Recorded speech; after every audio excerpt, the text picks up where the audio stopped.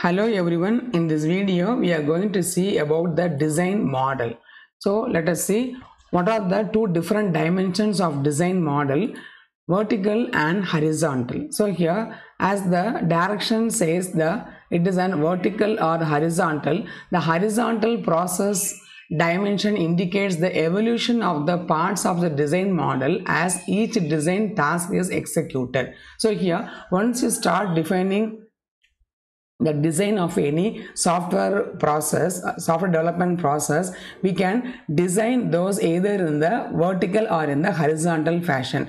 What is horizontal is we can elaborate on all the task at a stretch. That is called as an horizontal. That means suppose we are having a 10 task for a particular uh, process and uh, each task is uh, executed one after the other that is called as an horizontal design. And what is vertical design is the abstraction dimension represents the level of detail as each element of the analysis model is transformed into the design model and then iteratively refined. Here in the vertical dimension once a particular task is taken and that task which is earlier it was in the analysis model now converted into a design model design. Now here this design is iteratively refined level by level until a final conclusion is done about the particular part of the design model. That means it goes vertical. So you take one task refine it until we can we can get the further product which cannot be refined. That is the concept of the vertical model. So horizontal model we just to go by all the tasks one by one without getting into detail. But in the case of vertical model we just get into detail for each and every part of the model. Next one is elements of the design model use many of the same uml diagrams used in the analysis model so UML is Unified Modeling Language. It is a tool by which we can model the design elements. The diagrams are refined and elaborated as part of the design. More implementation specific detail is provided. Emphasis is placed on architectural structure and style interfaces between the components and the outside world. So this is the way the components are built. Components that reside within the architecture. So now these are all the substeps of the second uh, step. Here the elements of the design model uses many of the UML diagrams. So these diagrams are refined and elaborated as a part of the design. So once you take the UML diagram to specify the design, these diagrams are refined. That means they are further improved till it gets into a good design model. More implementation specific and actually we are always specifying the implementation specific detail also in this phase. That means how it is going to be implemented. What are all the phases that helps to implement those model and then emphasis is placed on the architectural structure and the style so how it is going to place in the framework of the model that is the architecture and what style is going to be used in developing the particular component.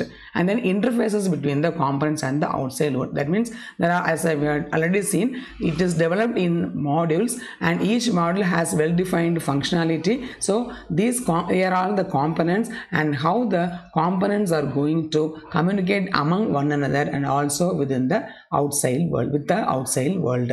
Next one is the components that reside within the architecture. So these are all the things which are defined using using the design model. And now the design model elements are not always developed in a sequential fashion. What does it mean is we have, cannot just keep on develop the models elements in a sequential fashion because once you develop a particular model in the preliminary stage and then we have to get into details of some details where we can set the communication between the model of the nearing models as well as the interface design. So they go in parallel.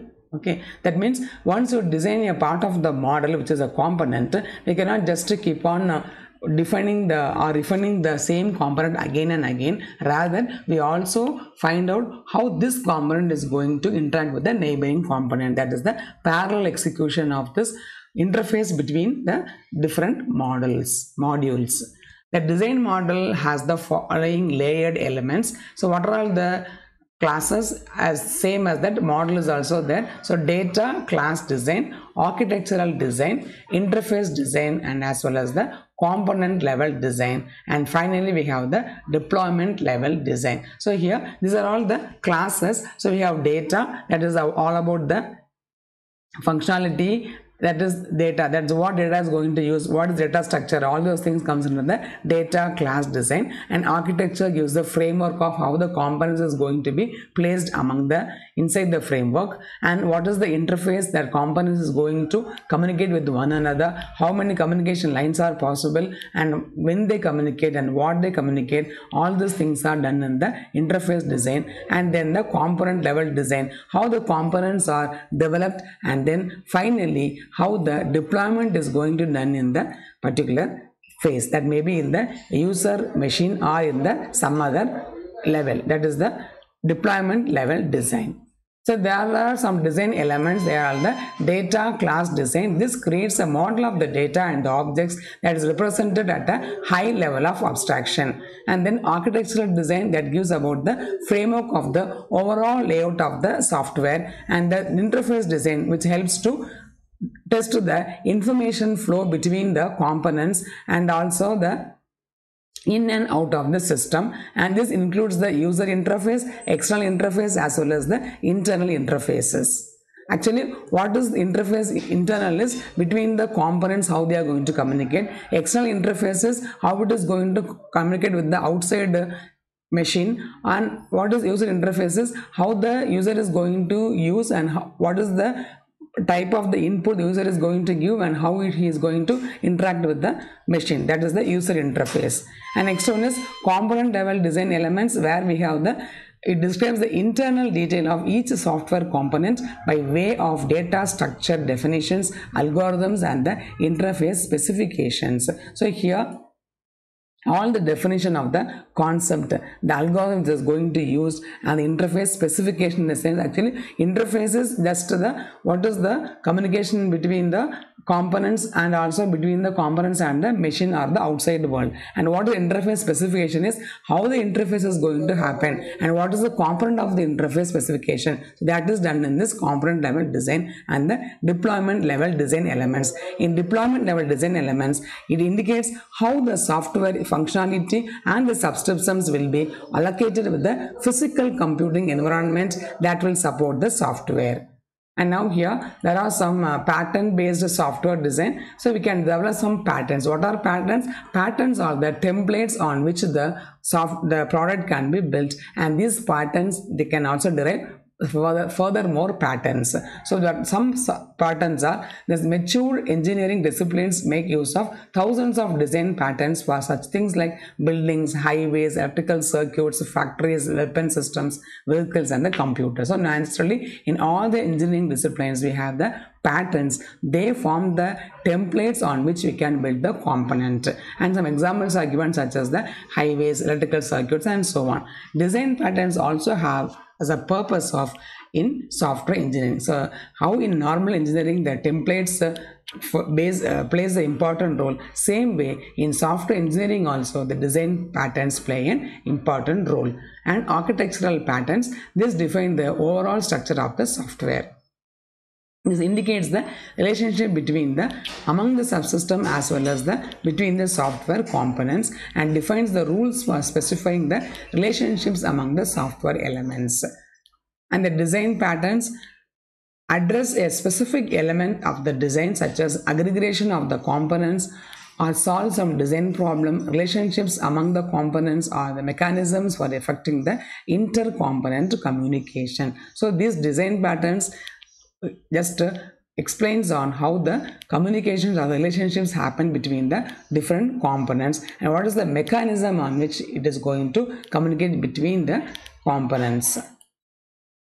And this consists of creational structural and the behavioral patterns. So how it is going to create that is the template or the format and how the structure is going to be built. That means the relationship between the components and how they behave once it is implemented how it is going to behave. That's also have some patterns or the templates.